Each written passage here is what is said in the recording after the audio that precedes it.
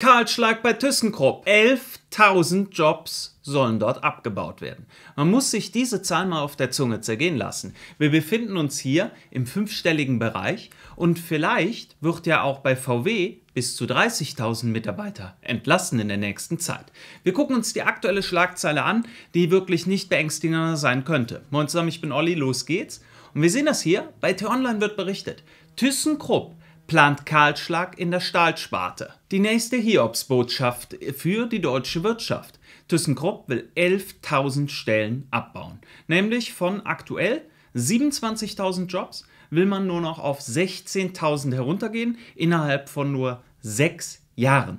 Und das muss man sich auf der Zunge zergehen lassen. Das ist wirklich ganz, ganz großes Kino im negativen Sinne und sollte doch jedem klar sein, woher das kommt. Wenn man natürlich am grünen Stahl fix macht, sagt, ja, das ist jetzt die Lösung, das ist die Zukunft, das brauchen wir jetzt unbedingt, das soll passieren.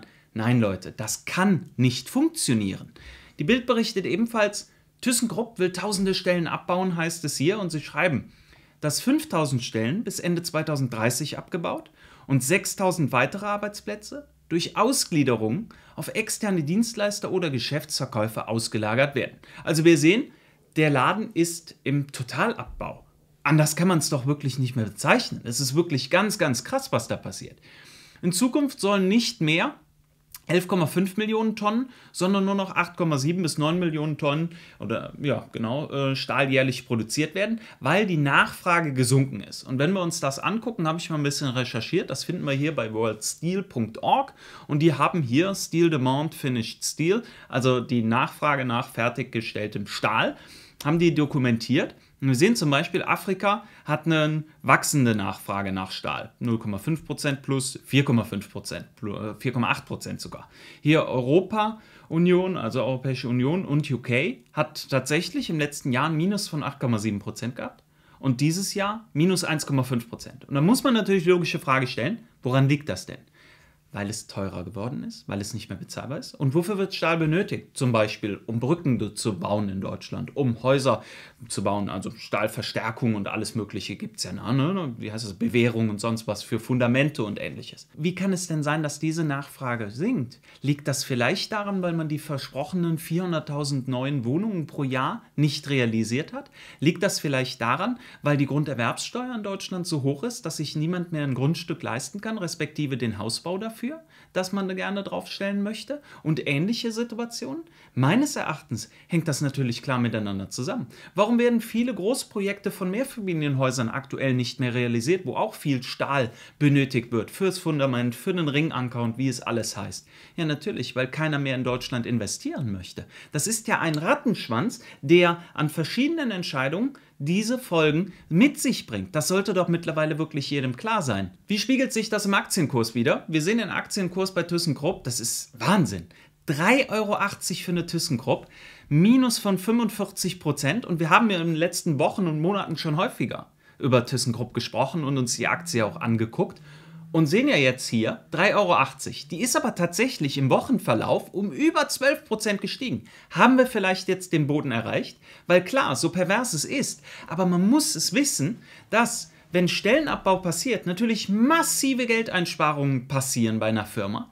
Und wenn man dann so die Geschicke des Unternehmens ein bisschen ordentlich lenkt, kann sich sowas sehr, sehr positiv aus. Ähm, merken und man dadurch natürlich als Investor, was wir jetzt hier auf dem Kanal auch sind, natürlich Vorteile haben. Dass die betroffenen Mitarbeiter keine Freudensprünge machen, das wird natürlich auch jedem klar sein. Im Intraday, wo ich das Video aufnehme, ist die Aktie hoch und runter am Gehen, also keine sonderlich krasse Entwicklung. Ihr könnt ja mal reinschreiben in die Kommentare, ob ihr meint, ob jetzt der Boden bei ThyssenKrupp angekommen ist und man dort investieren sollte. Ich persönlich würde dort nämlich nicht investieren, das wäre mir noch zu heikel, genauso wie auch bei VW oder auch anderen deutschen Aktien. Aber wenn ich investiere, mache ich das, wie ihr wisst, über Freedom24. Aktien-ETFs kann man dort sehr gut handeln, zu sehr attraktiven Konditionen. Könnt ihr euch unterhalb des Videos mal angucken. Link packe ich euch da zu unterhalb rein. Und keine Anlageberatung. Aber gerade jetzt in der aktuellen Situation, deutsche Aktien-ETFs zu kaufen, ganz schwierige Kiste. Wir gucken mal,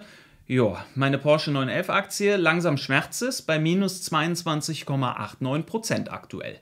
Guckt es euch gerne an, ich packe euch den Freedom-Link unten mal rein. Also muss man sich ja die Frage stellen. Argumentiert wird, ja, weniger Nachfrage, wir brauchen weniger Mitarbeiter. Woher kommt die weniger Nachfrage? Kommt die vielleicht wirklich durch Habecks grünen Stahl, wie es ja hier genannt wird? Warum er eine extrem teure Illusion ist, schreibt nämlich hier der Umweltökonom Manuel Frondel.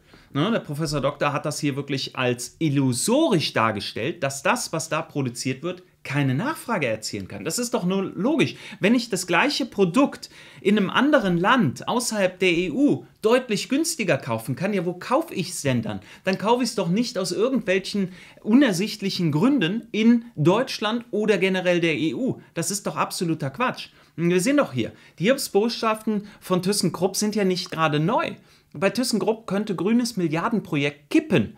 Umstellung auf grünen Stahl ist das Prestigeobjekt oder Projekt von ThyssenKrupp und der Bundesregierung. Das könnte nun durch einen Teilverkauf beendet werden.